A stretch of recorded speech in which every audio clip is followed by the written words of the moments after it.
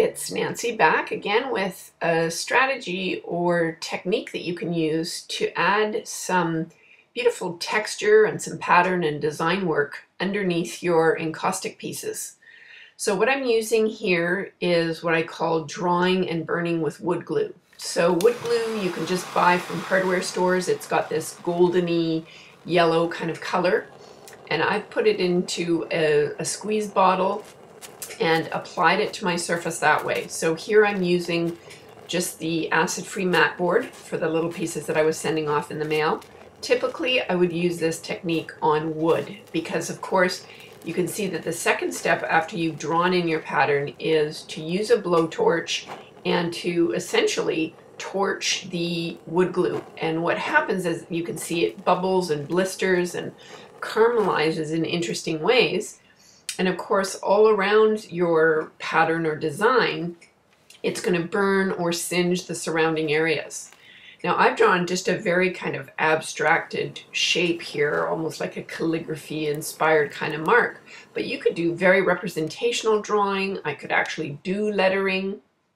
Here you see a couple of examples of just the wood glue and the burn on wood panels. I haven't worked these up yet, uh, but I thought I would show them to you in progress.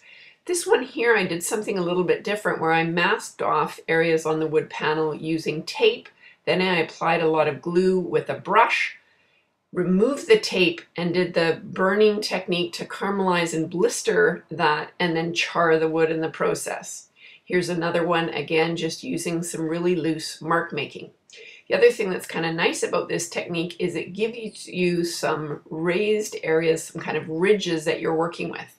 Here I'm just sort of looking back at that original panel, deciding that I want a little bit more burn to it, and coming in again with the blowtorch.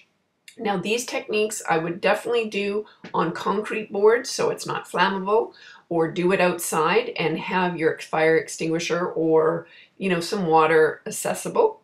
Um, you see here the finished little pieces and in the next video, number 18, I'm going to show you actually how I worked up that wood glue burn using layers of wax and pan pastel.